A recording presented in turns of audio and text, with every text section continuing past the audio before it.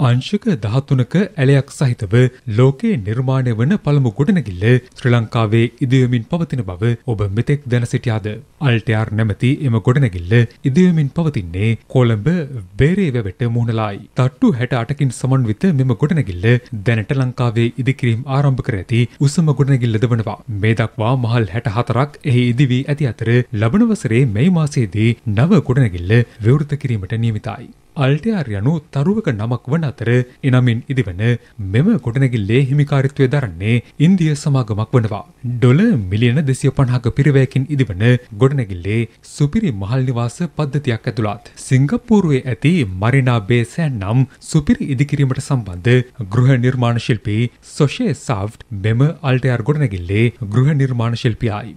ගොඩනැගිල්ලේ පල්මු මහල් පහ රතවාහන නවතා තැබීමට වෙන්වන අතර ගොඩනැගිල්ලට සමස්ත කොළඹ නගරයේම පැහැදිලිව දිස්වන බවයි ප්‍රකාශ වන්නේ. අල්ටයාර් ගොඩනැගිල්ලේ ඉහළ මහල්වල සිට ශ්‍රීපාද ස්ථානය පවා පැහැදිලිව දැක ගැනීමට අවස්ථාව පවතින බව එහි ඉදිකිරීම්වලට සම්බන්ධ සේවකයන් සඳහන් කරනවා. අල්ටයාර් ගොඩනැගිල්ලේ පස්වන මහලේ සුපිරි පිහිනුම් තටාකයක් පවතින අතර අහසේ තැනූ උද්‍යානය හෙවත් විශේෂ ස්කයි ගාඩන් නිර්මාණයක් හැට තුන්වන මහලේ ඉදිකර තිබෙනවා.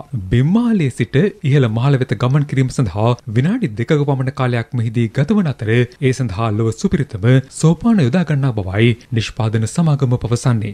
මේ වන විටත් අල්ටයාර් ගොඩනැගිල්ලේ සුපිරි නිවාස 70ක් අලෙවි කර ඇති අතර එයින් 60%ක්ම ලාංකිකයන් විසින්ම මිලදීගෙන තිබෙනවා.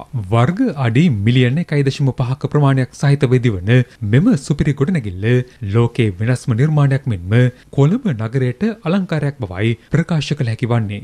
මෙවන් වැදගත් හා විස්මිත තොරතුරු දැන ගැනීම සඳහා ලංකා ඒ නිවුස් සබස්ක්‍රයිබ් කරන්න.